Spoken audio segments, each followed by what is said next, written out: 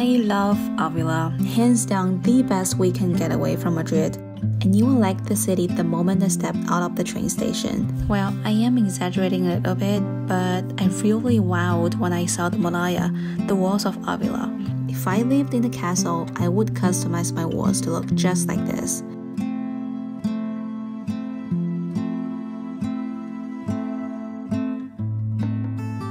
And inside the walls is the old town of Avila.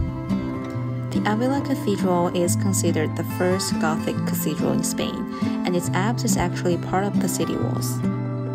Sadly, the cathedral was closed from 3 to 5, so we didn't get to visit inside the cathedral when we arrived. And then we learned that the walls were also closed from 3 to 5, so we decided to have lunch first.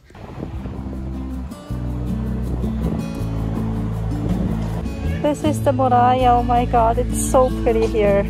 And can you feel the color scheme? Everything is so bright. We're gonna have some uh, lunch first because they open at 5. They are having a break from 3 to 5, so we cannot really do anything now.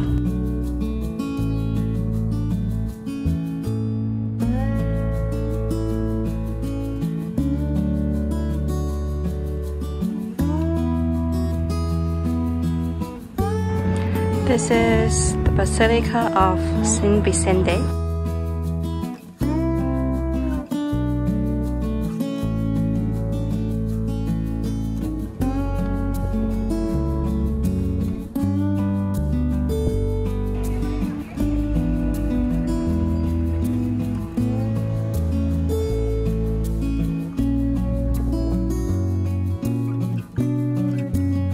So this is sort of like the Plaza Mayor of Avila, was much smaller than the Plaza Mayor in Madrid.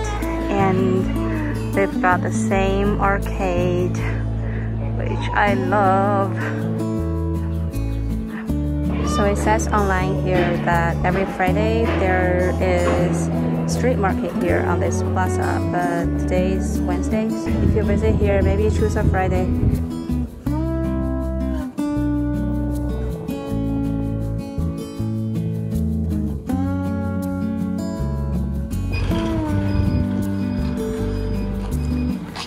Now we are heading to the Mirador Observatory of Avila. We have to go across the river. I have to say this is a lot smaller than I thought. And it's not as high as I thought. But let's go up and take a look at the view.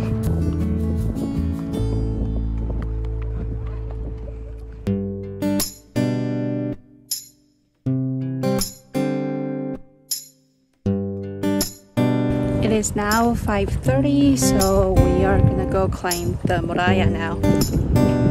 So we're gonna go this way. I think the entrance is somewhere over there. We're now going across the river.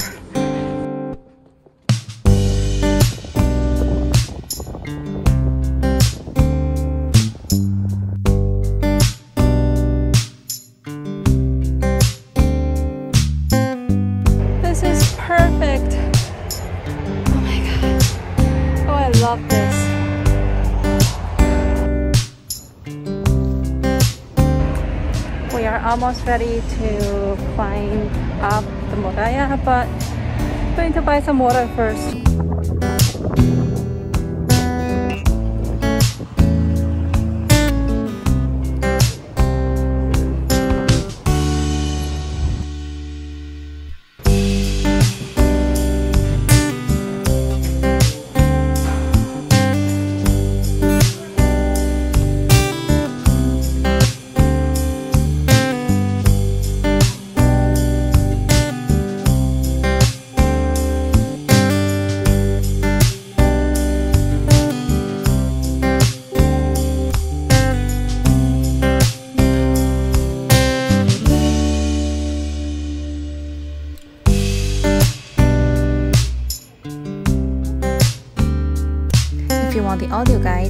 Scan the QR code on the receipt and choose your language.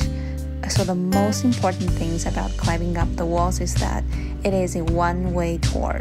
Once you enter the Murallas from the ticket office, there is no going back, and there are only two exits along the way. If you miss the first exit, you'll have to keep walking until you arrive at the second one, so you want to plan the route well.